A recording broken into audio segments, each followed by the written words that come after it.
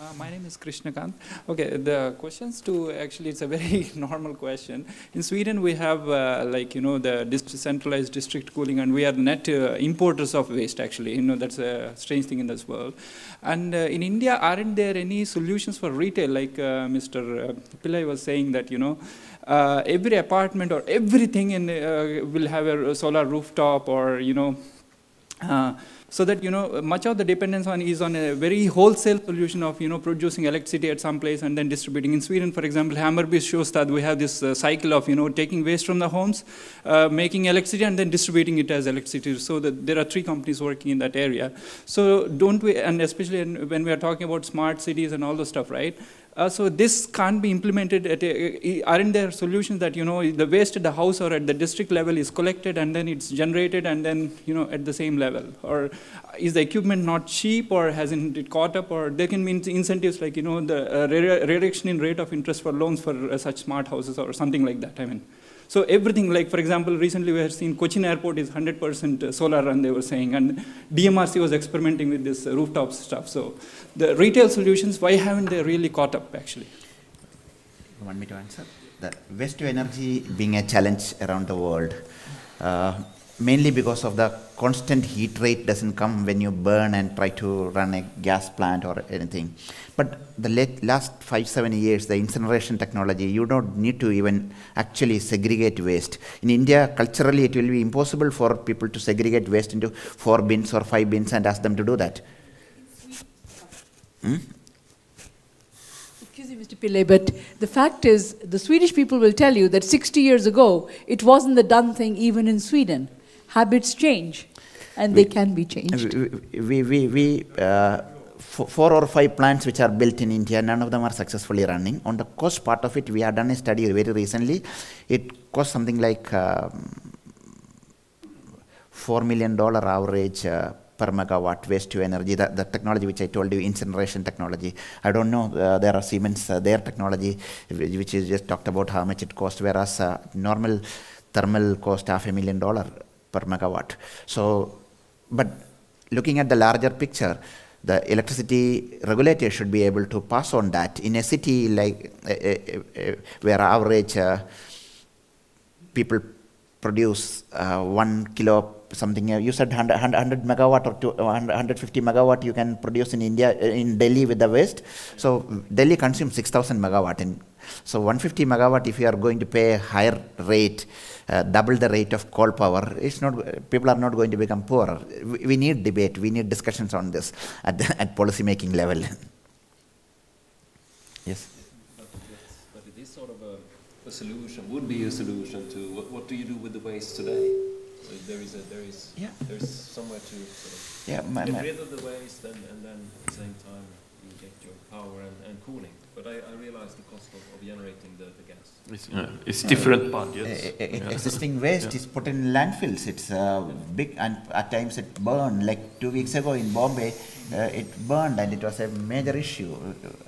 It, it's a big problem. -hmm. Big problem. And uh, seventy dollar per ton is the cost around the world, in particularly developing countries. In India, I don't know the exact number; it varies, but uh, it's a big cost. If you factor that into power, uh, the city governments in many places. Last month I was in China, I'm told 700 towns. I visited actually one of these plants, the incineration technology in Haikou city, uh, 24 megawatt plant operating and another one they are going to commission soon. So it consumes about 2,900 tons, which the city produces every day.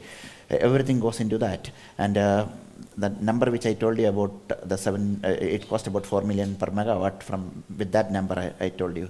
So uh, we have three, four around Delhi. First one we built sometime in 1970s, which never operated.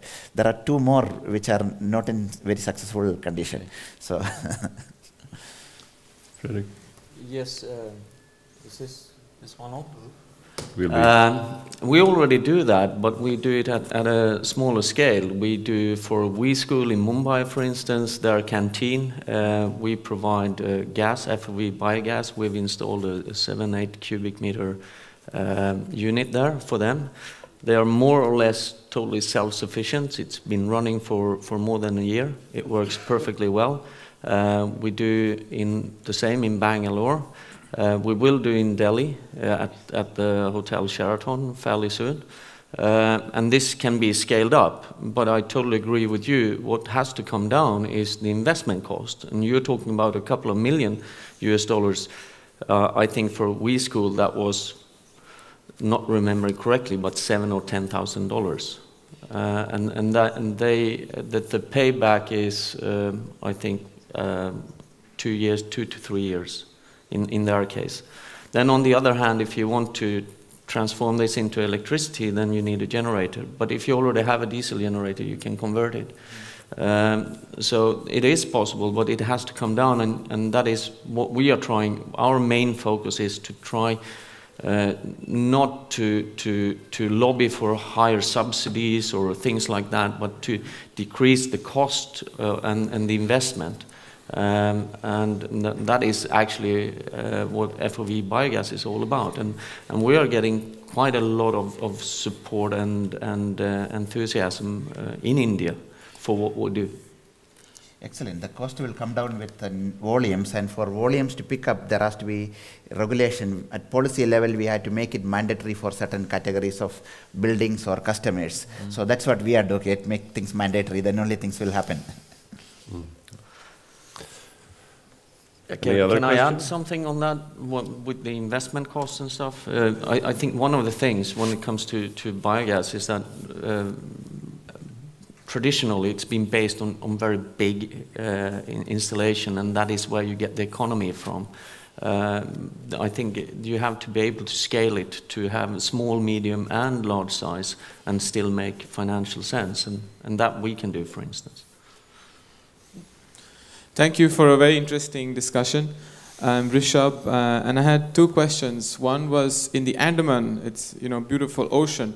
Was there any possibility to have tidal energy or any uh, energy from the ocean?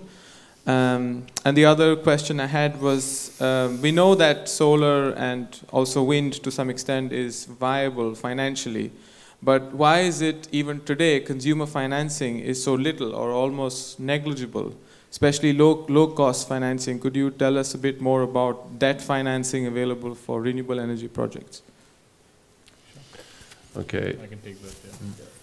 So uh, there are various kinds of financings available for renewable energy projects and uh, I don't know uh, why you say it is not uh, as much because if you look at the the majority of renewable energy financings in India uh, have been through external commercial borrowings not so much through domestic debt. Of late, domestic debt has become more active with you know some Indian banks willing to lend because Indian banks never understood renewable energy. For them, because they had a conventional power background, they just couldn't understand how how you know you could generate uh, power and what the risks were from renewable energy projects. So the interna international banks have led the whole debt financing uh, for in, uh, for renewable energy in India, and now a lot of domestic banks are, are doing so. So there is ample, uh, uh you know, sources of funds for, for funding. I don't see debt, uh, source of debt as an, as an issue. What I see is the risks that lenders, you know, see in these projects and what kind of sponsor supports they, they end up asking, which becomes more, a more difficult discussion for these projects. It's not the availability of money. Money is there. I'd like to add, the banks have been recently asked to take the rooftop PV cost into the house building loan. So you get it at the same house building loan rate. So um, uh, and or, or, or pay back over the 20 year or 30 year whatever you take the loan for the house building.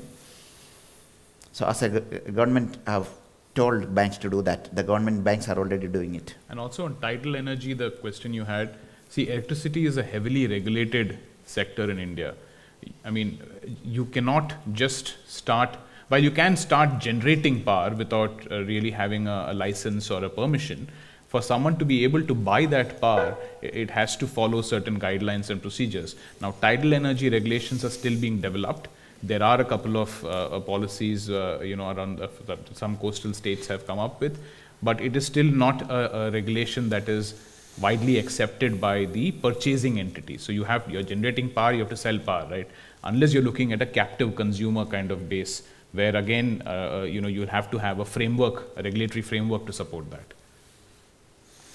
And also when it comes to, just one small detail, when it comes to the uh, tidal uh, wave energy, uh, Swedish company Seabased, they're actually right now working on uh, putting up a pilot installation of their wave, uh, wave power technology at the Andaman Islands. And uh, so when the policies are there, there might be also be a technical technology for it.